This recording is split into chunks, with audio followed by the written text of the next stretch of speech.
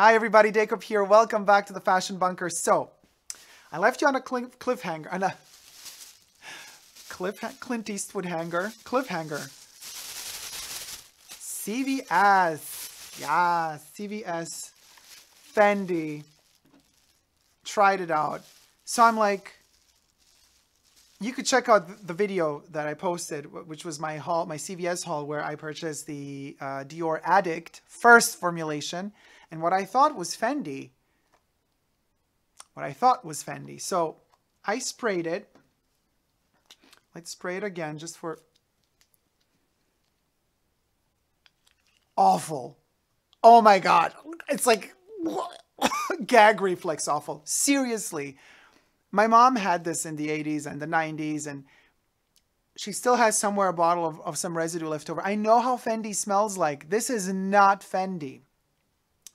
But before we get into any legal difficulties uh, with CVS, CVS, my dear, I have done my research and um, you did not sell me a fake. This is authentic. But it's actually, honestly, I would have preferred it to be fake because then at least Fendi would have saved their name. You know what I mean? So what happens is I've done my research, I've checked the the batch code, it does exist, and I double checked it. Yes, it's around 2011. The perfume has been discontinued, then brought back to life, then discontinued again. Um, on every perfume forum, literally every single human being that describes the reformulated version of Fendi is gagging in the negative way. I have never, guys, ever in my, and Fendi, shame on you for doing this. This is disgusting. I have never, ever in my life smelled a reformulated perfume that is not just a bad reformulation, but has nothing, not one single thing to do with the original. Nothing. You know, I talk a lot about uh, Dolce Gabbana. This is the original with the sticker. Uh, the reformulations have the printed name. Reformulations are awful. I really don't like them. But you still smell kind of, you recognize it's like a horrible cheap version of Dolce Gabbana, but it's still Dolce Gabbana. This is not Fendi. This is like, there's nothing in there, nothing in there that's left of a fragrance that used to be magical. Magical. Fendi was warm, spicy.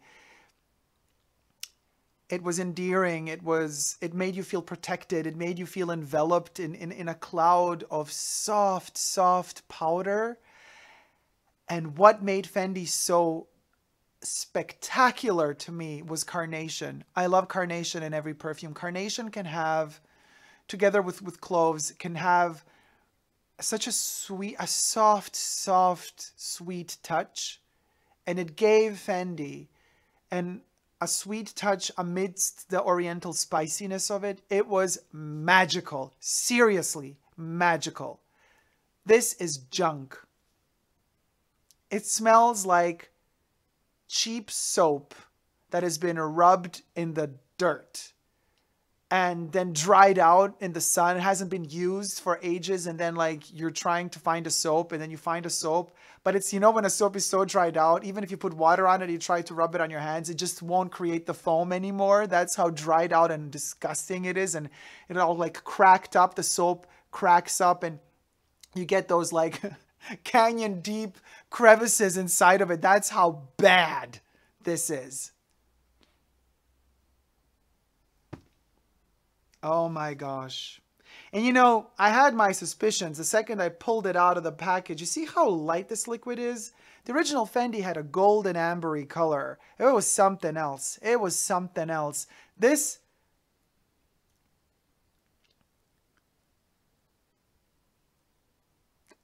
I mean, thank goodness it's such, it's such a small bottle. It's only 25 ml. Could you imagine if I bought a 100 milliliter? no. Oh my gosh. I don't know. You tell me if anybody tried this. I don't even want to go into the ingredients, guys. Seriously, this does not merit. Um, also because, you know, Fendi or whoever for them is lying. Because wherever you look online for the ingredients of the Fendi, of the first Fendi fragrance, you're going to find the listing of the ingredients of the first perfume, the first official version. Nobody, there's no official listing of the reformulated crap that's in this bottle. Like, so I'm not even going to go into detail because I personally smell out synthetic cheapness. It's almost like they chipped on a rock and put the dust of the rock inside alcohol and sprayed it with a little bit of rose and, and, and some vetiver. That's literally what it is. It's disgusting. Oh my God. No. Mm-mm. So again, when I first smelled this out of the box, I was so shocked. I thought to myself, oh my gosh, CVS sells fake fragrances. Because this is not Fendi. But then upon doing a lot of research, I find out, no, this is the new real Fendi. Well, back in 2011. So I don't know if they, I think it's discontinued by now. I hope this is discontinued. How can this sell? But CVS did sell an authentic. It just sold an authentic Fendi. That Fendi has royally effed up with their reformulations. And I don't even know at this point, like, what? Do they want to save money? On what do you want to save money? Nobody's buying it to begin with. I say either you kill it if you want to go cheap and you don't want to invest a penny, a decent penny, in making something that's amazing and flawless, like Fendi used to be as a fragrance. Either you keep it the way it is or have some dignity. Have some dignity and delete it. Just cancel it. Take it off the market because this throws so much shade on your brand. It throws so much shade on your integrity, which you lack completely, because to approve of this product means that you're as phony as the reformulation. Elker, thank you very much for watching this video. If you liked it, please do thumb it up and let me know what your thoughts are on this trash if you've tried it and compared it to the original Fendi uh, in the comment section down below. Thumb up this video, guys, and if you haven't already but do wish to, consider subscribing to my channel, Hiva, on YouTube. I'm also on Instagram, Facebook, and Twitter.